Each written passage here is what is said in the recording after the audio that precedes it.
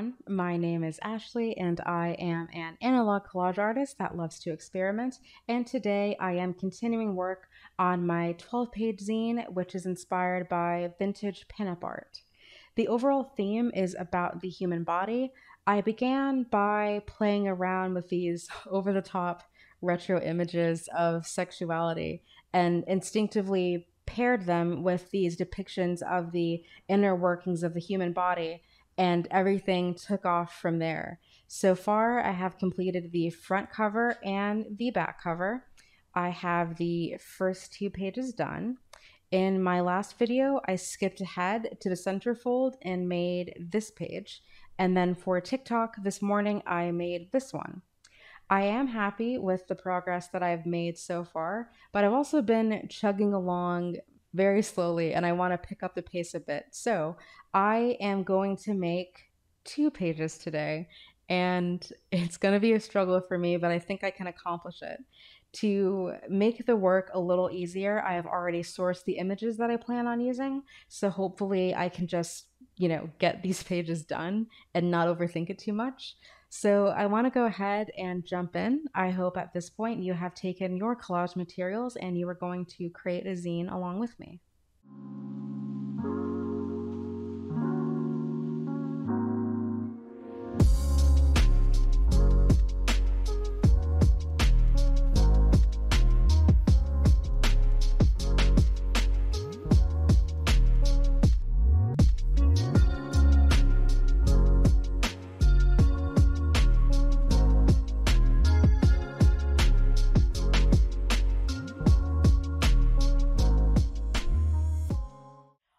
So we have all of our images. The two main subjects are, of course, our woman and this eye.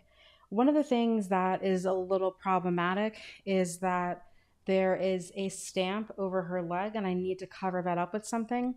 I originally cut out a picture of a smaller eye to cover it up. And as I was cutting this out, I thought, like, this could work, but it's also going to look ridiculous. And I was correct. It looks crazy, so I'm not going to use it. I will probably use um, some texture or something around it to hide that little text. Okay, so let's do some placement. The eye is a little bit too big for the page, so we're going to have to do some trimming. Unfortunately, all of these, I'm going to assume they're veins. I'm not a scientist, but I'm, I'm going to call them veins. That all of these will probably have to go. And um, let's just like play around a little bit with the direction of it. Or maybe we can get, if we put it up here, like so, we can get everything in. Although I really want the pupil to be really prominent.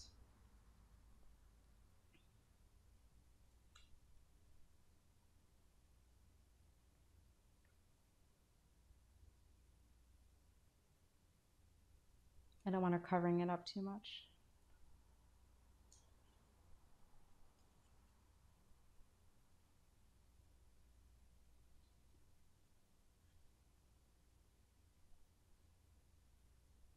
I like that. I think it works this way, right? Let me just trim off all of that excess, unfortunately.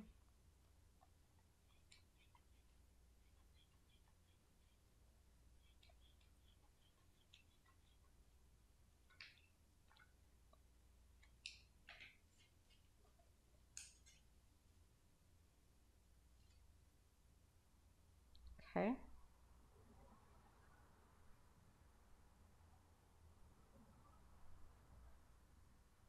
And I believe this reads as an eye still. All right, so that's, I'm happy with this. Very satisfied. So let's get some texture going. I have some roses. I have a crater. I have some minerals. And I have this waterfall that I thought could be really interesting. I want to play with this one first. So let's clear all that off. And let's just instinctively tear I do want to capture as much of that red and blue. I think that it could play with the eye really well. Just... Or maybe it's not going to fit. in a way that makes it interesting. No, I don't like it. I like it, but I don't like it here. So set that aside for a later project. Um, I do think it'll just be easier to put these in place because they're a nice solid blue. I don't have to worry about obscuring anything important or covering anything up. And what do I value more? Do I want this or do I want the top? I like this better.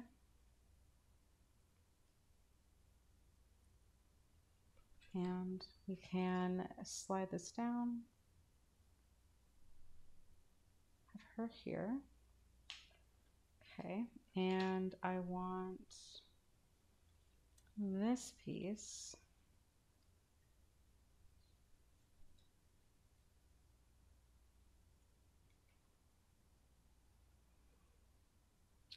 And do I want this little piece of blue peeking out? I I don't mind it. I also don't love it. We can put the crater just to make it continuous, put the crater behind it. Put this back up top. Okay, I like that. And we, I need something to cover up her leg. But I want her legs to be visible. Oh, you know what could be fun? Turning her upside down. Or keeping her right side up.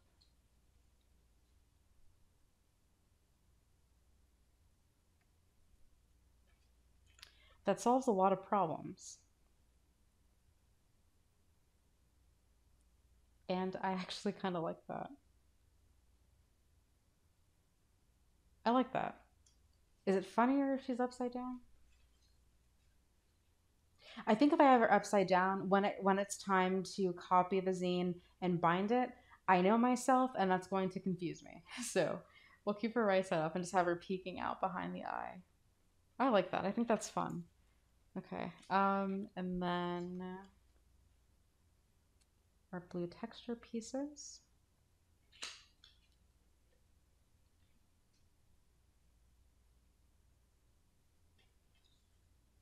And did I, oh, yes, I want the ridges hanging out. And I think to break up some of that blue and play with the red in the eye, we'll just tuck a rose back here. I think. And maybe a rose down here.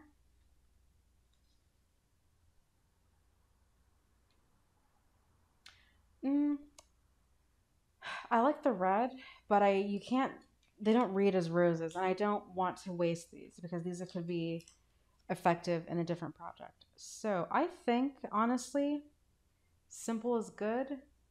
I'm happy with this. It's it's working for me. I like it. Well, that was really easy. That's a page done, I think. Um, yeah, that's the thing about zines that I really do enjoy. Just getting something out, putting something down on the page, having fun with it, not overthinking it, not doing too much. This is a good page, I think, and I'm ready to glue it down.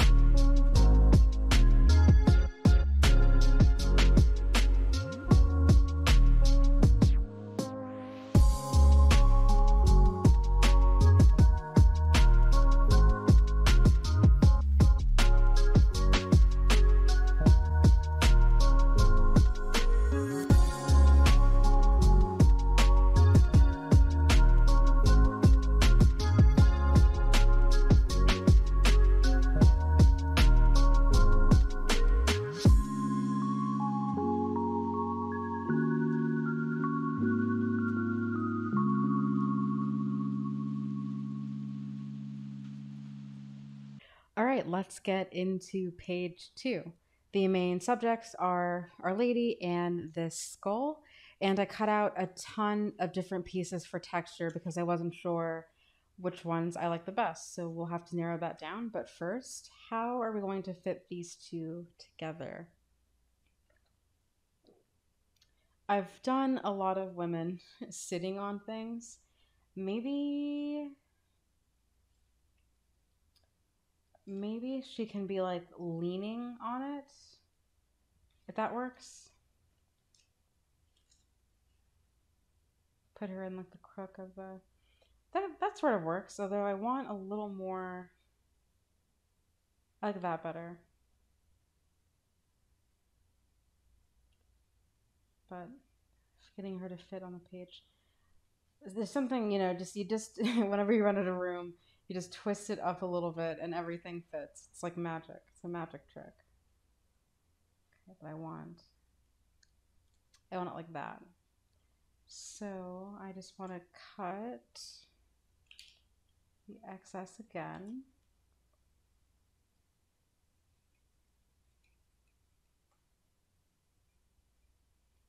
Okay.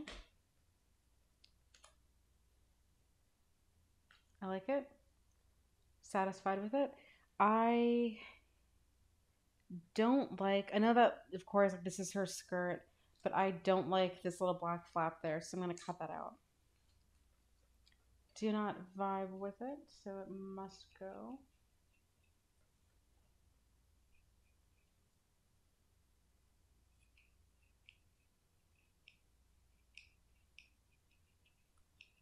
Okay. Uh, that looks a, like looks a little bit sloppy now, so I just want to clean that up.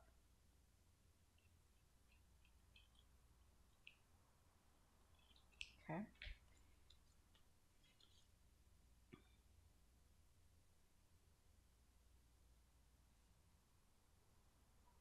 You want something like this? Good. Okay, so for our texture pieces, thinking of going darker rather than lighter. So some of these like silvery grays I think can go. I want something a little more bold, though I'm interested in the diamond, but I, I want this for sure. Um, um, I want this. And I I liked this when I was cutting it out, but it, looking at this now, it looks a little gross, and I'm not super into it for this. I'm gonna set that aside. Maybe this can be a contender. Maybe. Let's. I just want to start by ripping this in half.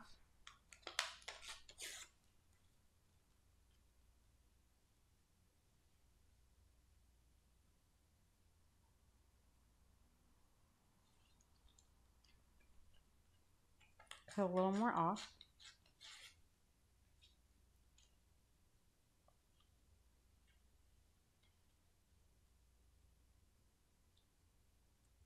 There. And I sort of wanted maybe the diamond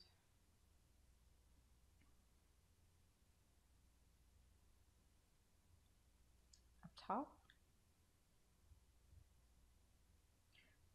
Hmm.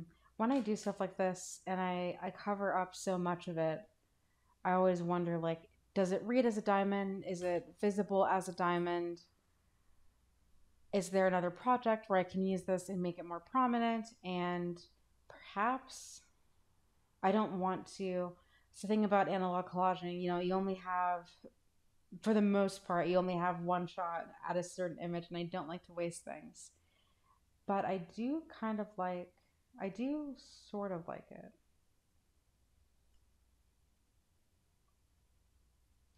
Let me take a step back. I sort of like it, but sort of is not good enough. So you must go. And I am changing my mind about these silver pieces. Uh, this one is more interesting to me, so let's rip it up.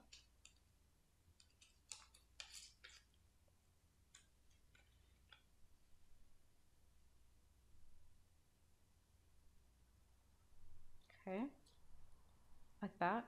And then I want to use the other half of this and I want to cut out some of these ridges, make those more prominent.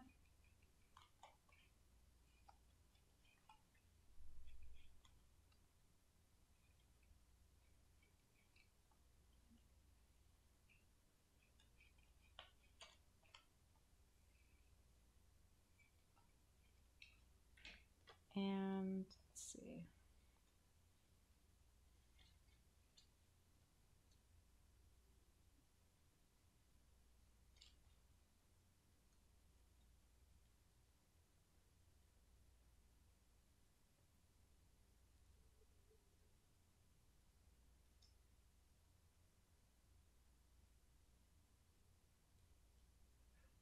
Okay. I like it. I like it. I've changed my mind about this silver piece again. I just want something to go where her feet are, and I think this could be a contender. Or no, save that, and let's use this.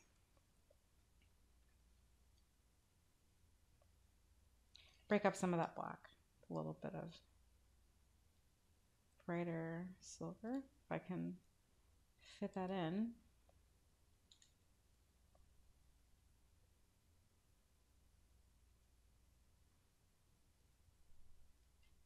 Okay. Yeah, I like it. I also think that I want to add some text to this page. I haven't used words on a lot of the pages in this zine. So I have in front of me some clippings from the magazine pages themselves. And I also have these baggies full of words. Although I think, honestly, right on top, we have this black and white, oh boy. And I like that. So I think I think it's gonna fit pretty well on this page. So let's use that.